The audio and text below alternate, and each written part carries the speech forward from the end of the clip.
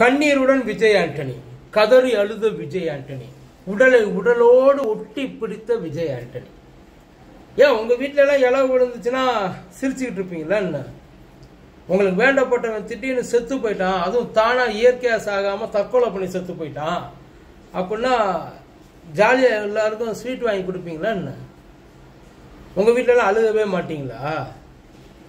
விழுந்து பரள மாட்டாங்களா? ஒப்பாரி வைக்க மாட்டாங்களா? உள்ளுக்குள்ள எதுவும் இருக்காதா?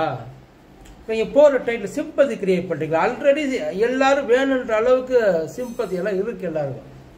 நீங்கள் புதுசாக போட்டு நீங்கள் மியூசிக் எல்லாம் போட்டு அள்ளி எதுவும் எங்களுக்கெல்லாம் தர வேண்டாம். இல்லை நிஜமா இவங்க கொடுக்குற அந்த இது எல்லாம் பா ஏதோ இவங்க பெற்று வளர்த்த மாதிரி விஜய் ஆண்டனி விஜய் ஆண்டனியும் அந்த பிள்ளைய பெற்று போட்டு மீடியா கையில் கொடுத்து வளர்த்த மாதிரியும் இன்னைக்கு திருதிருப்புன்னு விஜய் ஆண்டனி திருப்பி வந்து புள்ளைய வாங்கிட்டு போற மாதிரி. ஒரு மனுஷனை நிம்மதியை அளவு விடுங்கடா. அந்த பிள்ளைக்கு கடைசி இதுக்கப்புறம் அந்த புள்ள கூட அந்த மனுஷன் இருக்க முடியாது.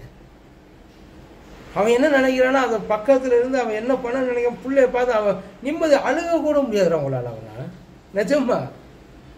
இவ்வளோ பேர் சுற்றி நின்று உட்கார்ந்துருக்கீல என்ன நினச்சிட்டு உட்கார்ந்துருக்கிய? அதில் டைட்டில்லாம் எப்பா? புரியல அந்த கதறி அழுகிறது.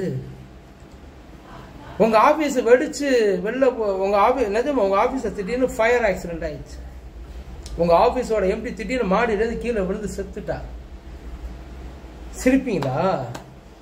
இல்ல அவங்க ஃபார்ம் அவங்க ஃபேமிலியில வந்து உங்க பாஸ் செத்து போயிட்டார் எல்லாருக்கும் போனஸ் வாங்கிக்கோங்க. சொல்லிடுற